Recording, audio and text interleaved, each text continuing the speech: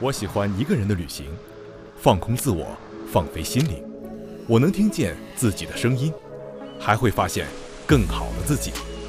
Spark 教学视频系列之掌上起降与手势自拍，带你进入飞翔的世界。首次使用，在感知设置中启用高级手势控制。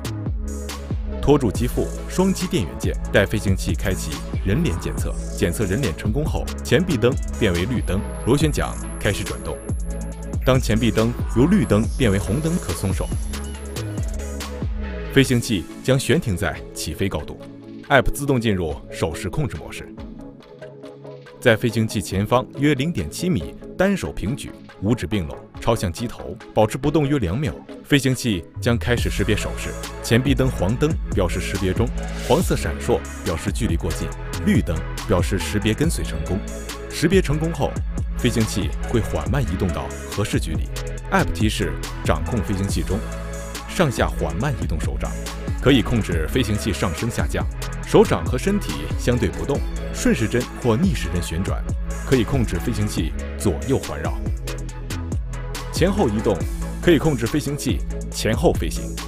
快速将手放下，或将手掌水平收回胸前，飞行器退出掌控状态。前臂灯显示红灯，App 提示掌控结束。在飞行器前方进行左右挥手，App 提示飞行器远离中。飞行器到达位置后会悬停。并开始识别目标。成功跟随后，App 提示飞行器开始手势自拍跟随。假如没有跟随成功，可以举高双手，让飞行器再尝试跟随。双手举高，向飞行器做自拍手势，飞行器将开始识别手势并拍照。前臂红灯慢闪，表示识别成功并开始倒计时，三秒将自动拍照。双手举高，稍作停留约两秒。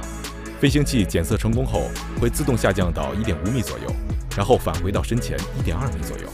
将手放在飞行器传感器下方零点五米以内，约一秒，飞行器自动下降。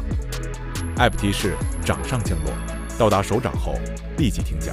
以上就是掌上起降与手势自拍的方法。感谢您的观看。